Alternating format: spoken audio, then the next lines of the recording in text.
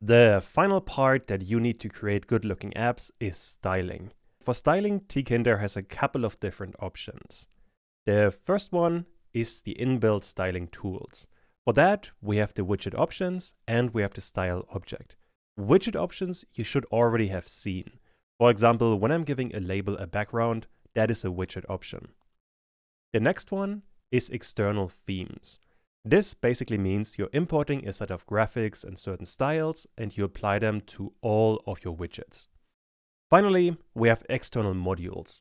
These are literal external modules that people have made that build on top of Tkinter, and they are giving you a ton of extra functionality and extra styling, which are incredibly useful. Now, unfortunately, there's one issue I really have to talk about, and that is that the inbuilt styling tools and the external themes just aren't very good. There are a couple of reasons why they are quite bad actually. The most obvious one is that they just don't look particularly good. But besides that, they're also quite annoying to work with and you don't have that many options. I am going to go over them, but I will not use them too much.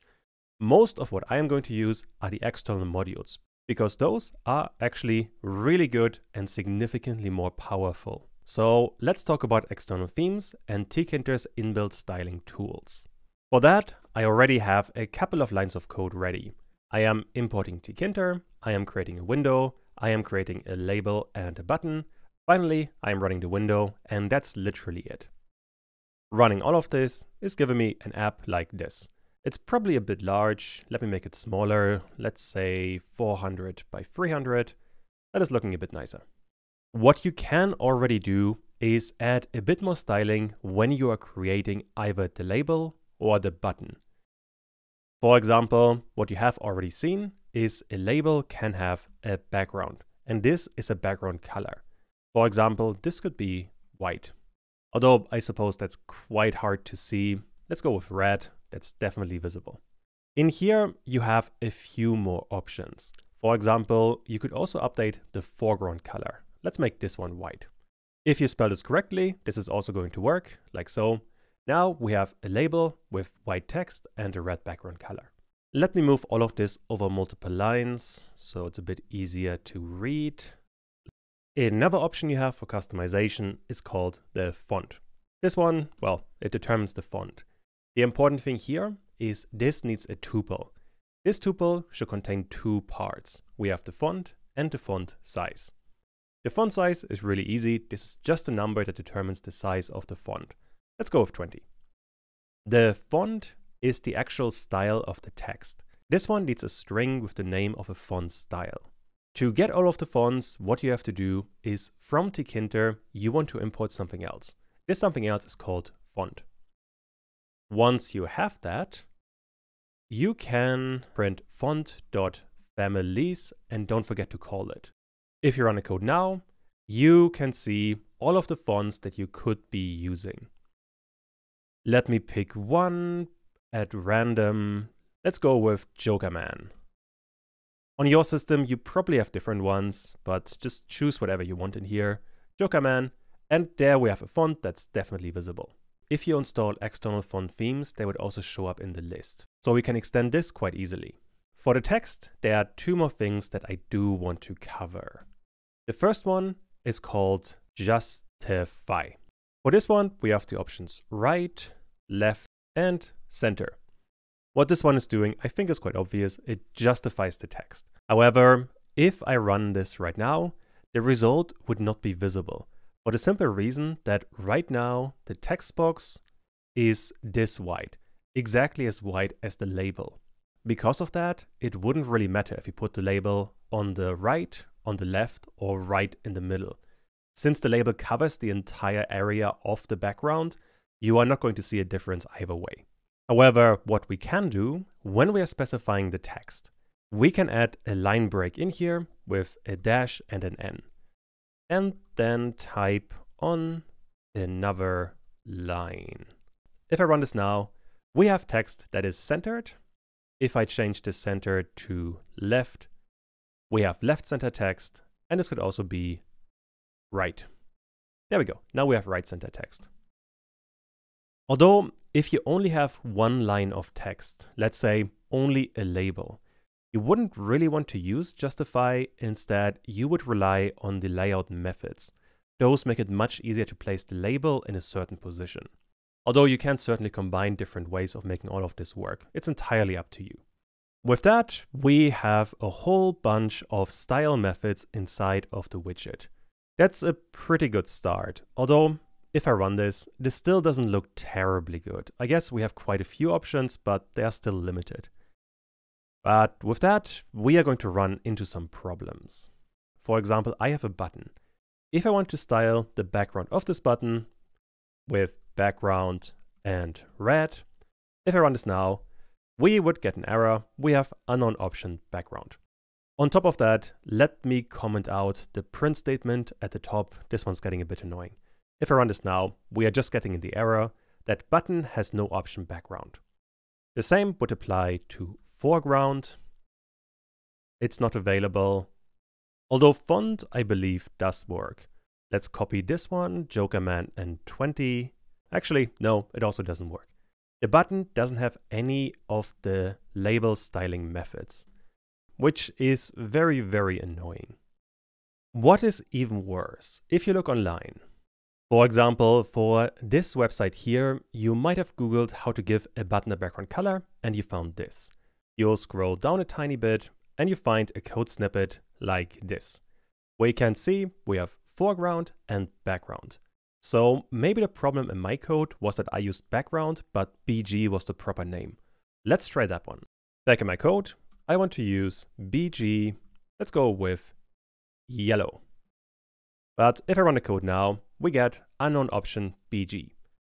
So what's the issue here? You might have already seen what the difference is. Just check out this code and then try to figure out what the difference is. The difference is that this person is only importing everything from Tkinter. There are no TTK widgets. And this is something I talked about all the way in the beginning. In Tkinter, we have TK widgets and we have TTK widgets. TTK widgets is what I have used most of the time, and those are the much more modern widgets. TK widgets I have used sometimes, like text for example. These TK widgets can use this kind of styling, but they do look much more outdated, while the TTK widgets look more modern but have a different kind of styling. Unfortunately, a lot of websites online have written these tutorials a long, long time ago.